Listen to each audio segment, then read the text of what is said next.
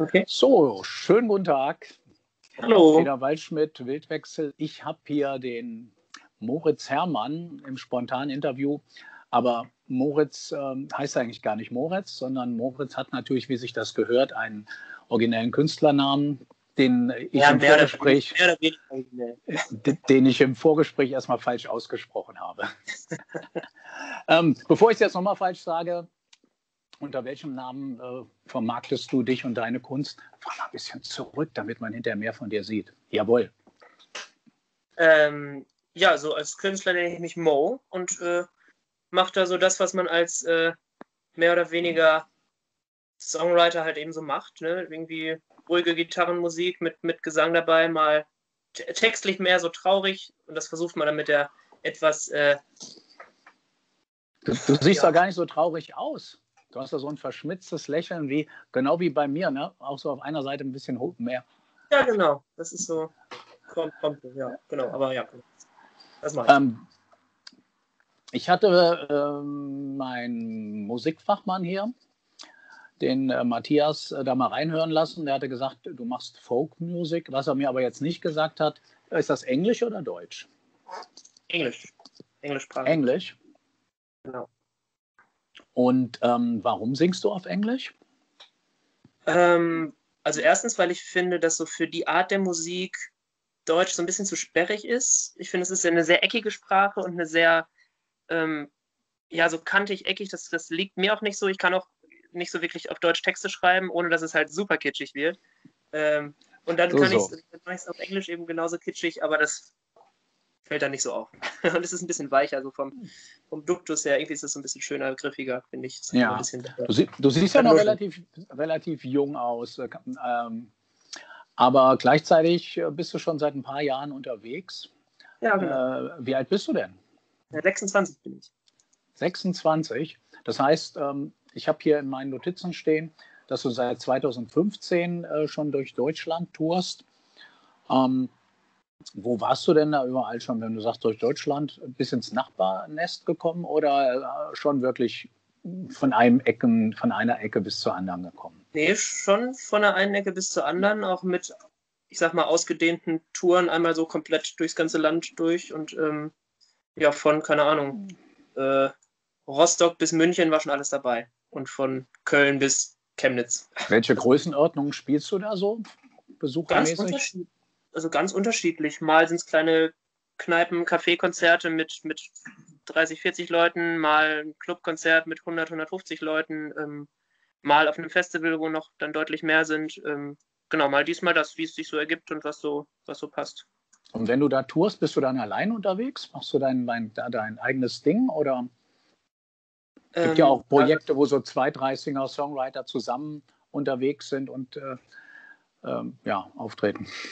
Was Genau, sonst? also gerade so auf diesen etwas längeren Touren haben wir eigentlich immer uns zu zweit zusammengeschlossen mit einem anderen Songwriter-Kumpel von mir zusammen, mit Joschka Brings. Da habe ich sehr viele Touren mit dem zusammengefahren. Das war dann irgendwie ganz schön, weil man irgendwie sich den Abend teilen konnte. Also wir haben dann Mhm. irgendwie 50-50 gemacht. Die erste Hälfte hat er gespielt und ich habe ihn begleitet und dann die zweite Hälfte habe ich gespielt und er hat mich begleitet. Das war dann irgendwie so ein ganz rundes Konzept. Das haben wir unsere Doppeldate-Konzerte genannt und das war irgendwie immer ganz, ganz, ganz schön und man hatte irgendwie ein bisschen Vielfalt im, im im Programm und man hatte so einen bunten Abend, den man den Leuten, ja, bunter Abend klingt irgendwie so ein bisschen nach. Bunter Abend klingt ja nach Ja. ganz viel guter Laune und äh, bunter Das war's Abend. ehrlich. Warte mal, wir haben ja, du, das klingt ja so, als wenn du mal bei uns auftreten könntest hier im Livestream, vielleicht hinterher. Da ist es so, dass ich dann immer hinterher so am Ende ein bisschen für Stimmung sorge, indem ich äh, passend zum bunten Abend Konfetti streue. Ähm, aber wenn du sagst, du singst traurige Lieder, warum singst du denn so traurige Lieder? Ist dein Leben so traurig oder? Nee, tatsächlich nicht, aber ähm, also tatsächlich ich schreibe eigentlich nur, also wenn ich Songs schreibe, ist das so, wie andere vielleicht ein Tagebuch schreiben. Mhm. Und ähm, da verpacke ich eben so die Sachen, die mich halt bewegen. Und wenn ich halt gute Laune habe, schreibe ich keine Songs, sondern kriege irgendwie meine Uni, mein Unikram hin oder meine Steuererklärung oder so. Und wenn ich halt schlechte Wenn du gute Laune hast, machst du deine Steuererklärung. Damit die dann Im gleich wieder versaut ist. Nee, aber so, keine Ahnung, Ah, negative Energie, die da ist, wenn man irgendwie schlechte Laune hat, nutze ich dann, um die irgendwie in, in, Songs zu verpacken oder irgendwie Ah. anders kreativ zu sein. Äh, und wenn es irgendwie, wenn es mir gut geht, dann ist es eher so. Dann um die dabei sie einzupacken und dann auch nicht schlecht. Mhm. Ähm, ich habe gehört, du hast, oder man hat mir erzählt, du hast früher mal in einer Metalband gespielt? Ja, tatsächlich. Ähm, ich habe äh, bis, also tatsächlich gibt es die jetzt inzwischen auch wieder, aber jetzt nicht so als, als Liveband, sondern wir haben nur was aufgenommen. Aber ähm, so von 2016, 17 bis letztes Jahr habe hab ich in der Metalcore-Band Bass gespielt und so Background-Gesang gemacht. Ähm, unter anderem auch mit dem Joschka zusammen, mit dem ich auch Songwriter-mäßig. Metalcore. Das ist aber echt ein Umstieg von Metalcore auf. Ja, also das ist ja gar kein Umstieg. Das lief ja, das lief ja so parallel und das ist das Ja. spiegelt kann ich so das wieder, was ich auch an Musik irgendwie mag und höre. Also einerseits das ganz ruhige, ganz zerbrechliche, traurige und dann das ganz laute, traurige, was man irgendwie beides dann so hat. Ähm, magst du ein bisschen was zu deinen Einflüssen erz erzählen? Also ich habe ja schon gesehen, dass du sowohl neue wie alte äh, Songwriter so zu deinen Einflüssen zählst. Ne? Ja, schon. Ähm, also ganz grundlegend angefangen, so 2015 hat das damit, dass ich halt, ja, so ganz, naja, so die allerersten Songs habe ich geschrieben, weil ich so sein wollte wie mein damaliges Idol. Das war Joshua, das war Joshua Radin, so ein amerikanischer, der nennt sich, nennt seine Musikrichtung so Whisper Rock, ähm, der auch so viel beeinflusst war von Simon Garfunkel und sowas. Und das waren so meine allerersten Sachen. Dann auch aber so, so Bands wie Biffy Clyro und Augustines, so wo ich meine Melodien eigentlich immer so ein bisschen daran anlehne, so das ist so, so, so melodische Rockmusik irgendwie. Ähm, und das hat sich so in den Jahren so ein bisschen verändert hin zu den etwas folkigeren Sachen, so wie äh, Tallest Man on Earth, der halt ja sehr folkartig, folkig, folkig spielt, keine Ahnung. Sondern das Gitarrenspiel hat irgendwie da so sehr, sehr äh, Also du machst, du machst nicht so, du, du machst jetzt nicht so diesen, diesen Mitklatsch äh, äh, Anprost-Folk äh, oder nee, genau, bist, ich du auch, so bist du auch schon in Irish, äh, in Irish Folk Clubs aufgetreten und hast da die Leute dazu gebracht, dass sie auf den Tischen getanzt haben? Nee, genau, weil das ist es nämlich nicht. Es ist jetzt nicht so dieses Kneipenschlägerei-Folk-Ding, sondern so echt so dieses, dieses, ähm, ein Typ mit Gitarre will irgendwie den Leuten seine Emotionen überstülpen. So. Das ist so das, das Ding. Deswegen so in so Irish Pubs bin ich gar nicht so zu Hause musikalisch. Das ist Bei dir kommen die Leute eher hinterher dann vielleicht so und sagen, Mensch, ah, das hat mir so aus der Seele gesprochen. Ja, genau. Also im besten Das- Fall natürlich. Manche, manche sind Ja, du, Mel Melancholie ist ja nicht immer äh, schlecht, gerade wenn man, wenn einem irgendwas auf den Keks geht. Man, das kann ja auch, kann ja auch ein positives Ventil sein. Ne? Und so habe ich das auch verstanden, dass, das von, dass du das dann so einsetzt. Mhm.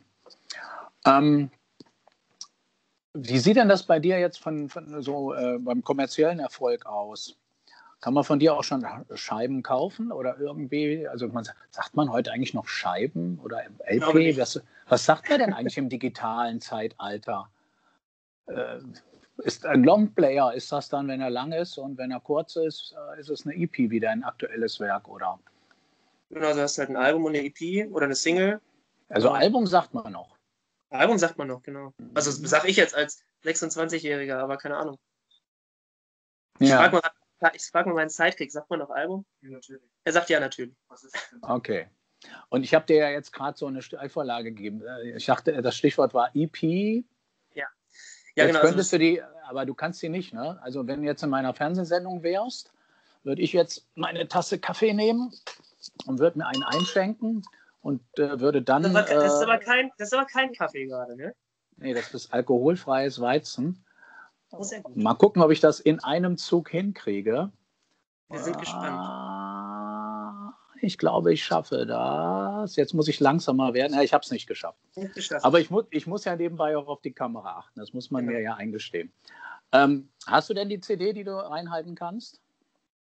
Äh, nee, tatsächlich nicht, weil, also das aktuell, also ich hätte, wenn ich jetzt, äh, tatsächlich war ich gar nicht auf ein Video-Interview vorbereitet, muss ich sagen. Deswegen habe ich auch meine alte CD jetzt nicht dabei, die ich in die Kamera halten könnte, aber äh, die, aktu das die, die, meinen aktuellen Release, also die, die EP von vor zwei Monaten, könnte ich jetzt nicht in die Kamera halten, weil ich sie aufgrund von Corona tatsächlich nur digital veröffentlicht habe, weil ja so wenig Konzerte gerade stattfinden, dass ich, also mein Hauptgeschäft ist das Live-Geschäft und da verkaufe ich auch meine Shirts oder meine CDs hauptsächlich. Und, Wo kann man die denn kaufen?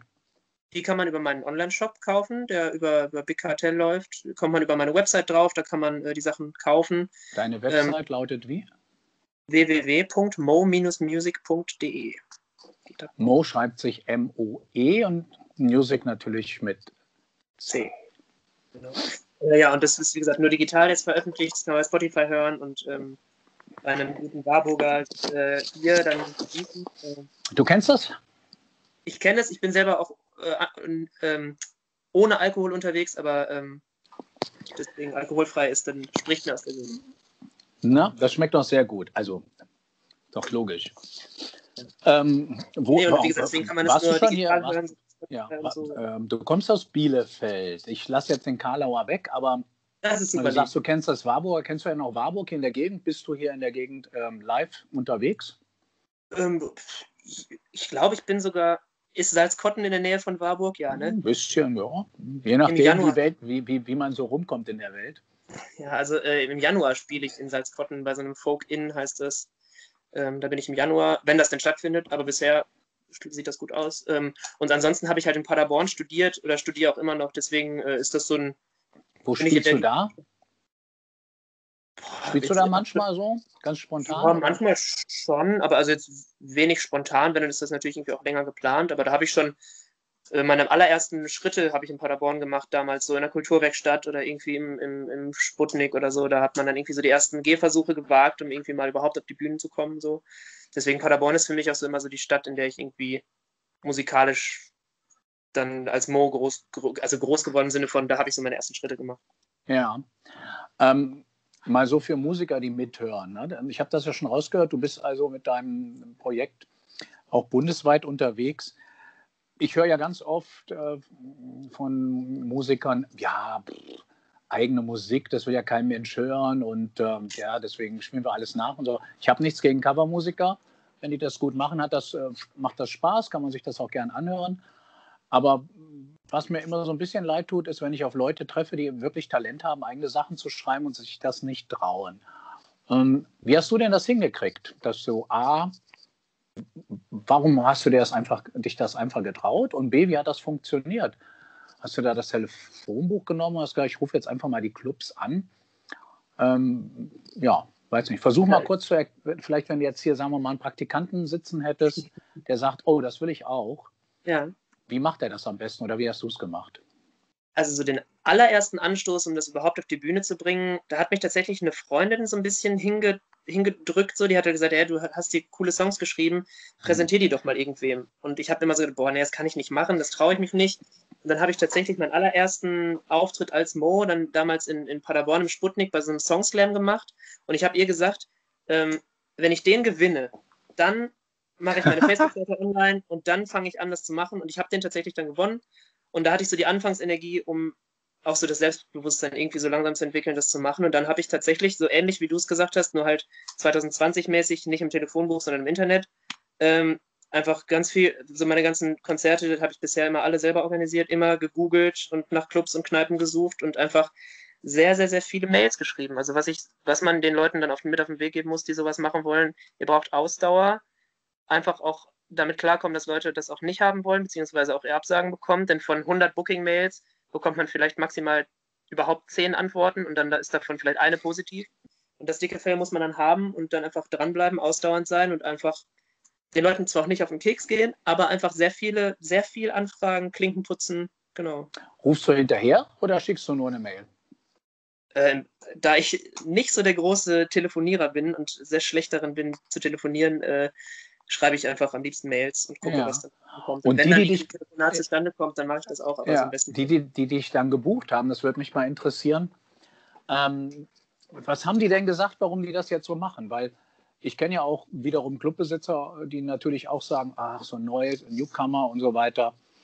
Naja gut, der kann ja vielleicht am Mittwoch mal ähm, für ein Bier äh, spielen, mal schauen, ob sich einer für interessiert. Ähm, Hast du auch Gagen bekommen von Anfang an? Mal so, mal so. Also mhm. ich weiß noch mein allererster Moment, wo ich das erste Mal von der Musik halt relativ viel Geld bekommen, also für die Verhältnisse relativ viel Geld. Das war dann so, so ein Kneipenkonzert, wo dann der Hut rumging und dann waren dann, keine Ahnung, 150 Euro im Hut und das war so, okay, krass. Man kann damit Geld machen so. Und deswegen, also mhm. viel, viel läuft auch nach wie vor auf diesen Hutgeschichten, dass man irgendwie darauf vertraut, okay, das Publikum bezahlt da schon irgendwie was für, wenn die schon umsonst zum Konzert kommen. Ähm, und ja, sonst ist das Finanzielle jetzt vielleicht auch nicht was, was ich jetzt so gerne bereittreten würde, ehrlich ja, gesagt. Ja, schon okay. Ähm, aber was, was haben die Leute dir gesagt, die dich buchen wollten, warum, die, warum sie dich haben wollen? Die, müssen, die schreiben da nicht, haben die nur geschrieben, ja, kannst kommen? Oder haben die auch gesagt, was ihnen daran gefällt, an deiner Musik? Mal so, mal so. Also entweder sagen sie, ja, das passt in unser Konzept, das passt in unsere Kneipe, das passt auf unsere Bühne oder eben auch, das passt halt hier nicht hin. Manche schreiben dann auch, ey, danke für die Mail, aber ganz ehrlich, passt halt nicht bei uns hin. Das ist dann ja auch netter, als gar nichts, gar keine Antwort zu bekommen. ja. Ähm, aber das kann man hast so pauschal jetzt gar nicht, gar ja. nicht so sagen. Hast du denn auch schon, äh, hast du schon sowas wie eine Fanbase? Leute, die dir vielleicht, also die dich anschreiben und fragen, wann kommst du wieder? Oder die, die vielleicht sogar hinterherreisen oder einfach so Kontakt herstellen? Kriegst du da schon ähm, was mit? In diesem, in diesem kleinsten Rahmen, in dem man das sagen kann, so ein bisschen schon. Also man hat schon ja. äh, natürlich gerade in diesem lokalen Teil hier so in Bielefeld schon Leute, die oft kommen, die ich auch vorher nicht kannte, die ich dann irgendwie durch die Musik auch kennengelernt habe, die dann oft im Publikum sitzen, wo ich mich immer sehr, sehr freue. Die nenne ich immer so irgendwie so die, die Edelfans, weil die dann irgendwie oft da sind und das war, das ist dann nicht immer nur Mama, die da sind, sondern wirklich auch Leute von außerhalb, die mich vorher nicht kannten, irgendwie ja. äh, da sind so und tatsächlich auch manchmal so überregional. Also ich spiele immer super gerne in einem bestimmten Laden in Schwerin und da sind halt auch, da mache ich jetzt schon seit vier Jahren, spiele ich da jedes Jahr und da kommen auch immer dann die ähnlichen Leute, die dann auch die Leute im Laden schon immer fragen, ey, wann kommt der wieder? So, oder wann, da bin ich auch mit Joschka immer zusammen und wann, wann kommen die wieder? Und das habe hab ich in, an so ein paar Orten gibt es das schon, dass, du, dass, man, dass man da Leute hat, die auch sich freuen, wenn man wiederkommt. Aber ich würde jetzt nicht sagen, dass man so eine deutschlandweite Fanbase hat, aber zumindest hat man so ein paar Leute, die sich dafür auf jeden Fall auch überregional interessieren, ja. Wie ist das für dich, als du das äh, bemerkt hast? Weißt du noch, wie? Weil du hast ja gesagt, eigentlich hast du gedacht, wird gar nicht so erfolgreich. Dann, dann hast du das Ding da gleich gerockt und gewonnen. Dann hattest du die Eier und hast gesagt, jetzt mache ich äh, auch mal sowas wie eine Tour. Und dann ist das ja quasi so die nächste Stufe, wenn man dann auf einmal sieht, ey, da kommen ja Leute wirklich wegen mir. Die sitzen jetzt nicht zufällig nur da rum. Ähm, Kannst du dich noch erinnern, wann, wie das war, als du das erste Mal Leute wiedererkannt hast und das äh, wahrgenommen hast, dass die wirklich gezielt wegen dir da waren? Ja, also ich muss gestehen, das ist es bei den ersten Malen, wenn man dann so, also ich spiele ja keine Ahnung, so 70 bis 100 Mal im Jahr, wenn nicht gerade Corona ist so. Und da ist es dann manchmal so, dass man dann erst auf den zweiten Blick merkt, so, wenn dann jemand auf einen zukommt und sagt, oh das war letztes Jahr schon so toll, und dann ist es dann so, ach stimmt, ja, die Person war ja letztes Mal schon da. Und dann irgendwann fällt sich das auch ein, dass man das auch dann so wieder erkennt. Aber das ist natürlich ein super schönes Gefühl. Also ich glaube, das würde niemand anders behaupten, als äh, dass das ein tolles Gefühl ist, wenn Leute deinetwegen auch wiederkommen. Und ähm, genau, ist einfach super cool und das Schönste, was man sich so vorstellen kann eigentlich. Die schönste, die schönste Rückmeldung, die man so haben kann. Ja, ähm, du hast es mit Corona angesprochen. Jetzt ist es ja inzwischen so, dass wieder ein paar äh, Konzerte und so Sachen funktionieren und für Solokünstler wahrscheinlich auch äh, schon auch einfacher. Hast du da jetzt auch schon ähm, ein paar Konzerte in nächster Zeit, die schon feststehen? Du hattest jetzt erwähnt, nächstes Jahr ähm, in Salzgotten, aber das wird ja nicht alles sein. Oder hast, wie sieht das im Moment bei dir aktuell aus mit dem Konzertplan? Mit dem also Konzertplan? Ist, ganz gut. Also es fing bei mir schon tatsächlich jetzt im Juni wieder an. Ich glaube, Ende Juni habe ich das erste Konzert wieder gespielt. Ähm, auch in einem Laden, in dem ich die letzten Jahre immer schon gespielt habe und die dann auch gesagt haben, boah, wir möchten unbedingt mit dir irgendwie nochmal ein Konzert machen. Das haben wir dann irgendwie auch gemacht. Und so ein paar Sachen gibt es jetzt auch und auch noch bis jetzt in September rein, dass da so. Zum Beispiel? Zum Beispiel am 4. September in Mörs im Bollwerk ähm, mit einer Band zusammen, die heißt Chameleon. Ähm, das ist einfach so ein Doppelkonzert oder auch in Längerich in, in, im Soundgarten. Ähm, dann auch noch äh, im Brauhaus in Herford. Was ist denn ähm, daran so lustig? Ich weiß nicht, es, klingt immer so, ähm, wenn man jetzt keinen kein Alkohol trinkt, in einem Brauhaus zu spielen, klingt lustig, finde ich. Also deswegen, das, das klingt, klingt, so urtümlich, so ursprünglich, aber das, äh, ja, aber so ein paar Konzerte gibt es und es ist schön, es ist toll, das wieder machen zu können. Letztlich hat jede Musik, äh, vor allen Dingen jede auch neue Musikszene oder irgendwie hat ja im Prinzip in Kneipen begonnen und gar nicht in großen Konzertsälen. Ne? Und ja. ähm, äh, wir alle kennen, die, oder nein, nicht alle, die Jüngeren weiß ich gar nicht, aber früher war das Klischee ja immer, ne, da sitzt einer am Klavier, auf dem Klavier steht ein Bier und daneben eine Frikadelle oder so. Und ähm, eigentlich ist das ein talentierter Musiker, aber er muss dann irgendwelche Lieder spielen. Und in den ganzen äh, äh, Biografien von großen Künstlern von früher ist das ja immer so, dass die so angefangen haben und dann irgendwann gesagt ja, genau. haben, ja, ich spiele jetzt nicht mehr nach, ich spiele jetzt meine eigenen Sachen. Und im Film ist es dann natürlich immer so, dass dann irgendeiner das doof findet und dann ein anderer hingeht und zu dem sagt, halt mal die Klappe, der Junge ist cool, das hören wir uns jetzt mal an. Ja, stimmt. Ähm, das ist ja bei dir ja dann, wie du gesagt hast, ein bisschen anders gewesen, weil du gleich dein eigenes Ding gemacht hast, aber letztlich war das ja auch ein, ein kleiner Laden. Und warum soll das nicht das Brauers sein, wenn die offensichtlich haben sie ja Geschmack, wenn sie dich buchen? Oh, das war nett. Na, danke. Nein, es war, sollte auch gar nicht so doof klingen. Es war einfach nur so ähm, dahin gesagt. Also meine Kollegen haben sich das angehört. Ich habe die extra gefragt. Die haben gesagt, es ist echt nicht schlecht. Na, kann man sich anhören und lohnt Nicht schlecht, sich. Das ist ein richtig schönes ostwestfälisches Kompliment. ich komme aus Hessen, da heißt das, das oh. ist wirklich gut. Dann ist es auch ein hessisches. ähm, man muss es ja nicht gleich übertreiben mit den, mit den entsprechenden Angeboten. Ähm, jetzt haben wir schon 20 Minuten überschritten. Schau mal einer an. Äh, wir hatten ja im Vorgespräch äh, was besprochen, was ich eigentlich dann doch noch später fragen wollte. Jetzt habe ich es glatt vergessen. Was war das denn? Weißt du das noch? Das war ein ganz interessantes Thema. Du hast auf jeden Fall immer gesagt, ich habe jetzt so viele Fragen, die darf ich jetzt aber noch nicht stellen. Ich weiß jetzt nicht genau, worauf du anspielst. Verdammt. Was war denn das? Du trinkst keinen Alkohol? Ja. Warum eigentlich? Nicht? Also nee, das klingt jetzt wie ein Vorwurf. So ist es nicht gemeint. Ähm, Weil ich es nicht will. Okay. Also ich habe hab mal getrunken, aber brauche ich nicht, will ich nicht. Ich habe gute Freunde, die keinen Alkohol trinken, die sind trotzdem cool. Ja. also das, das, hat mich nur mal so interessiert. Es könnte ja sein, dass du äh, jetzt noch irgendwie, ähm, das wäre nämlich jetzt indirekt so. Ich habe ja mir deine Texte jetzt nicht durchgelesen. Du hast gesagt, melancholische Sachen. Hast du auch äh, Texte, die jetzt, sagen wir mal, außer was die Verarbeitung von irgendwelchen blöden Situationen, ähm, transportierst du auch irgendwelche politischen Sachen oder hast du irgendwelche, irgendwelche Messages, die dir wichtig sind? Hm, also in den Texten jetzt nicht unbedingt tatsächlich politisch. Also ich bin, ich bin ein relativ politischer Mensch, würde ich sagen, und ähm, glaube, dass ich dadurch, dass ich ja schon auch viele so emotionale und eher so schon so klassische Liebeslieder teilweise singe, dass so diese, dieses gute Gefühl und diese, dieses, ja, diese Empathie und diese Liebe quasi den Leuten mitgeben kann, weil es da draußen sehr viele Arschlöcher gibt, die halt einfach anscheinend zu wenig Liebe mitbekommen haben.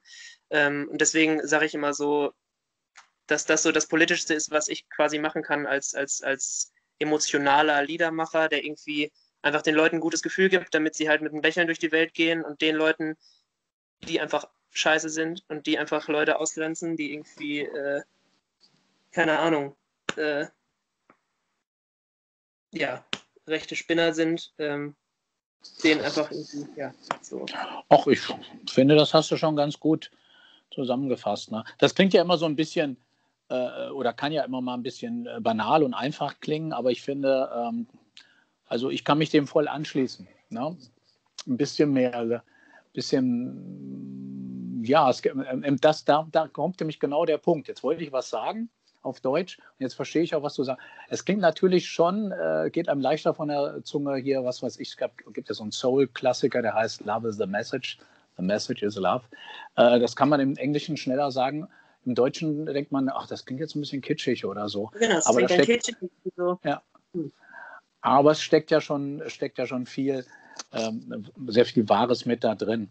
Ähm, du machst ja mit bei dem äh, Projekt äh, Carstream oder hast, bist da aufgetreten mhm. von, ähm, ähm, von äh, Olaf Menne und seinen Jungs und Mädels. Ähm, wie war das für dich? War das dein, ähm, hast du, oder andersrum, hast du, hast du schon andere äh, Stream-Sachen vorher gemacht? Ja, also nicht so viel tatsächlich. Also ich war immer selber nicht so der Mega-Fan von Streams, gerade so, also am Anfang von Corona liefen die ja meist auch von zu Hause ab. Und das war immer so ein bisschen, das fühlte sich nicht anders an, als sowieso vorm Rechner zu sitzen und irgendwie Gitarre zu spielen, so wie sonst. Deswegen war das nicht so eine, nicht so eine besondere herausgestellte Situation. Ähm, aber so die Streams, wo man irgendwo tatsächlich hingefahren ist, da hat irgendwer was vorbereitet und man hat dann das Setting und spielt schon auch irgendwie ein Live-Konzert, äh, fühlt sich das dann auch natürlich ist es dann schön, wenn so zumindest drei, vier Leute im Raum sind, die man so ein bisschen adressieren kann, dass man da so ein bisschen Publikumsgefühl hat. Ähm, genau, war so ein bisschen, also ich habe, glaube ich, zwei richtig aufgezeichnete Streams gemacht, sonst mehr auch nicht. Und das war auch der Grund, warum du das mit, mit, mit ich will immer K-Stream sagen, aber Olaf hat gesagt, nein, das heißt K-Stream. K steht für Kultur. Ähm, Englisch halt. Äh, warum du das gemacht hast, wie hat dir das gefallen bei dem? Äh, schön, war, war eine nette Atmosphäre. Das war ja oben bei Musik aktiv in diesem. Ja. ja ich glaube, die anderen Streams waren auch immer so in diesem Gitarrenausstellraum teilweise und das war oben in so einem ja, Lager, gefühlt was wie so ein Lagerraum, aber es war vielleicht auch so ein Ausstellungsraum, ich bin mir nicht ganz sicher. Ähm, es war auf jeden Fall sehr viel Nebel da. ähm, Nebel war cool, war irgendwie eine, eine, nette Atmosphäre, nette Leute und so, solange die Leute nett sind, ist auch erstmal alles andere eigentlich egal, finde ich. Gab's, hast du denn da auch irgendwelche Resonanzen zurückbekommen? Das ist ja immer so, die, was da aktuell läuft, kriegt ja meistens der Musiker dann gar nicht so mit. Ja, ich habe ähm, die Resonanz immer direkt mitbekommen, weil einer der Mitarbeitenden da äh, mit so einem kleinen Zettel immer hingelaufen ist und dann geschrieben hat, hier der und der schreibt gerade das und das, äh, die und die wünscht sich den Song, den ich dann im Moment gar nicht spielen konnte. Aber so, es gab direkt, es gab so ein bisschen Live, Live-Rückmeldung von, ja. von äh, Leuten aus dem Chat und das wurde mir dann per Zettel zugetragen. Und das war gut für dich so? Ähm, Im Grunde schon. Also ich habe dann jetzt immer in den Pausen dann darauf reagiert, jetzt nicht während des Songs so, aber fand ich, fand ich witzig, dass man da so ein bisschen Live-Interaktion hatte. Das war schon cool. Ja. Ist ja dann noch nichts anderes, als wenn du ein Publikum hast, die dir dann auch direkt widerspiegeln, wenn was ist. Ja. So, ich gut mit den Leuten klarkomme, die zwischen den Songs irgendwie reinrufen, irgendwas. Da bin ich immer sehr irritiert, aber sonst. Ähm, ja. Was rufen die da so rein? Ach, jetzt gar nicht, mir fällt es gar nicht Spezielles ein, aber manchmal hat man dann so. Ich will ein Kind von dir. Das soll der Klassiker. Nee, das, das, das, das tatsächlich noch nicht, aber das gab's nein, noch nicht. Dann macht man, macht man, eine flapsige Ansage und dann kommt irgendwie da was zurück. Äh, aber so, das ist manchmal, bringt dann manchmal so ein bisschen raus, was jetzt auch nichts. Ja. Äh, was war bis jetzt so der, der, der, das, das äh, Verrückteste oder der abge. Ja, gibt es irgend so ein, so ein, man erzählt ja immer gern so Anekdoten aus irgendeinem Laden, da ist das und das passiert. Gibt es da irgendwas Cooles von deiner Seite aus, was wirklich sehr schräg war? Ich wurde mal in äh, Lage, da haben wir in einem ähm, Kreativloft gespielt, heißt das, und es war gleichzeitig unten drunter war ein Laden, der hat äh, Mopsbedarf verkauft, also für, für Hunde. Und während des Konzerts sind, haben uns dann, da haben wir mit der ganzen Band gespielt und haben uns drei Möpse äh, angegriffen auf der Bühne. Das, dann, das war tatsächlich ein bisschen skurril. Ähm, und ist da was passiert? Was nee, die, die Besitzerin ist dann auch schnell dahin hingelaufen. Ähm, ansonsten glaube ich gar nicht drüber.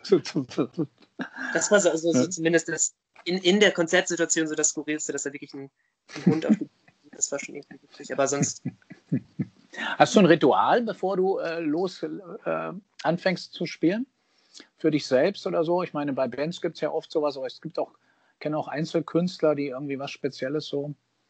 Oh, was ist das hier? Wir müssen uns beeilen, mein Akku ist gleich leer. Oh, okay. Äh, nee, also ein richtiges Ritual habe ich nicht. Also ich, ich habe immer, ja, ein, ein Ritual, das ist so, ich mache, ich singe mich nicht richtig ein, ich mache immer, ich fahre mit meiner Zunge so über die Zähne. Das ist so dieses, das, das, das okay. durchblutet irgendwie und das mache ich immer so, so fünf, sechs Minuten vom, vom Auftritt immer, bis es dann, das macht man so lange, bis es irgendwann wehtut. Das habe ich mal von einer Sängerin aus einer alten Band gelernt und äh, also bis es okay. wehtut, bis es Widerstand gibt und dann ist man ohne Singen ein bisschen eingesungen. Aber sonst ein richtiges Ritual habe ich sonst nicht. Nee. Das kannte ich noch nicht. Guck mal einer an. Ja, okay. Haben wir wieder was gelernt. Da können alle äh, Amateurmusiker jetzt mal aufpassen. Ich kann auch noch einen Tipp geben. Ähm, das hat mir mal ein Model gesagt, wo ich gesagt habe, ich kriege das immer so hin mit den schönen Grinsen. Die sagt, du musst von der Zunge von hinten gegen die Schiene drücken und nicht, und nicht versuchen zu grinsen. Und dann hast du ein schöneres Grinsen. Klappt bei mir nicht so gut wie bei dir, weil du natürlich einen, einen größeren Mund hast. Und ähm, Gibt es noch, was du loswerden möchtest? bevor wir auflegen? Möchtest du noch hm. jemanden grüßen? äh, grüßen glaube ich nicht, aber keine Ahnung, die Leute, die zugucken, äh, seid lieb zueinander, passt aufeinander auf, jetzt gerade noch mehr als sonst. Und, ähm, Wie geht das? Warte mal, ich, ich, kann das nicht so gut.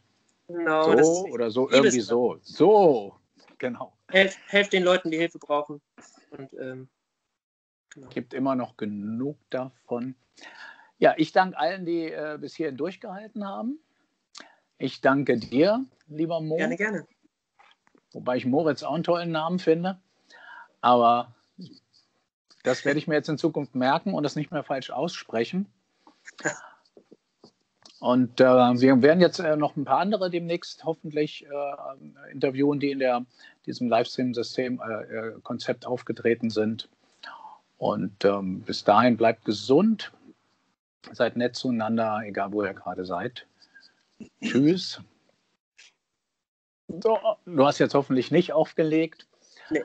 Ähm, normal ist jetzt hier ein Schnitt, mhm. aber wir lassen das jetzt natürlich weiterlaufen. Meine Frage ist halt, dürfen wir das auf allen unseren Plattformen, Social Media Kanälen, alle, wo es sie gibt auf der Welt, kostenlos, dauerhaft, auch in veränderter, vielleicht sogar gekürzter Version veröffentlichen, solange wir natürlich nichts verfälschen. Ja, alles gut. Ich gebe ein und, doppeltes auditives und visuelles Ja. Ja, wunderbar. Ja, das äh, lege ich jetzt hier mal auf. Gott sei Dank. Da, na,